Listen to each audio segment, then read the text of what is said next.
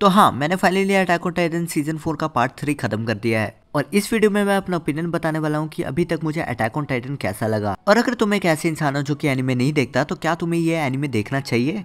या नहीं? देखो, अगर बात करें अटैक ऑन टाइटन की स्टोरी की तो हाँ इस एनिमे की स्टोरी को देख के तो आप डेफिनेटली इंप्रेस होने वाले हो और कंफ्यूज भी। अब देखो, इस एनिमे की स्टोरी लाइन इतनी डिटेल है कि तुम्हें छोटी से छोटी चीज़ों के बारे में बताया जाता है और यही चीज़ अटैक ऑन टाइटन की वर्ल्ड बिल्डिंग को बढ़िया बनाती है। हॉलीवुड में गेम ऑफ़ थ्रोन्स को काफ़ी ज़्यादा रिकोगनाइज किया जाता है एक अच्छी स्टोरी लाइन और वर्ल्ड बिल्डिंग के लिए। और मैं ये चीज़ कहना चाहूँगा की अटैक ऑन टाइटन दोनों ही मामलों में गेम ऑफ़ थ्रोन्स को पीछे छोड़ देता है। इवन अटैक ऑन टाइटन के एक्शन सिक्वेंसेज जब मैंने पहली बार देखे थे, तब लिटरली मुझे पता लगा था लोग एनिमे को इतना ज़्यादा रिस्पेक्ट क्यों करते हैं? अटैक ऑन टाइटन में जब भी किसी बड़े इवेंट को सेटअप किया जा रहा होता है तो हम कभी भी बोर नहीं होते हैं। वहीं पे गेम ऑफ़ थ्रोन्स कहीं ना कहीं बोरिंग फील होने लग जाता है। अब एग्ज़ाम्पल के लिए गेम ऑफ़ थ्रोन्स का एपिसोड वन ले लो। एपिसोड बढ़िया तो है, मगर ऑडियंस को उतना ज़्यादा कनेक्ट नहीं कर पाता। वहीं पे अटैक ऑन टाइटन के फ़र्स्ट एपिसोड की एंडिंग देखने के बाद तुम खुद को एपिसोड टू देखने से रोक नहीं पाओगे।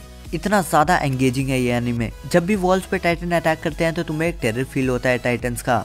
लेकिन वहीं पर जब गेम ऑफ़ थ्रोन्स में व्हाइट वॉकर्स की एंट्री होती है तो वो टेरर फील नहीं होता। जबकि टाइटन स्टूडी कैरेक्टर्स है और Game of Thrones live action तो हाँ ओवरऑल अटैक ऑन टाइटन ने मुझे अभी तक बहुत ही ज़्यादा इंप्रेस किया है। अब वो चाहे स्टोरी हो एक्शन हो या कैरेक्टर्स ये एनिमे सारी चीज़ों में बाजी मार लेता है। मगर हाँ अटैक ऑन टाइटन अपने आर रेटेड होने का वो फ़ायदा नहीं उठा पाता जो जीओटी उठाता है। अब हाँ इसमें वायलेंस तो है, लेकिन वो नहीं है जो गेम ऑफ़ थ्रोन्स में है। अगर तुम हरामी हो तो तुम्हें पता है, मैं क्या कहना चाह रहा हूँ। तो हाँ यार, ये था मेरे AOT season four part three का रिव्यू तुम्हें ये वीडियो कैसे लगा, मुझे कमेंट सेक्शन में लेकर बताना। साथ ही साथ चैनल पर नहीं हो तो चैनल को भी सब्सक्राइब कर दो, क्योंकि इस पर और भी एनिमे के कंटेंट आने वाले हैं। तो हाँ सब्सक्राइब नहीं किया है तो कर दो। मैं आपसे मिलता हूँ नेक्स्ट वीडियो में। तब तक के लिए थैंक्स फॉर वॉचिंग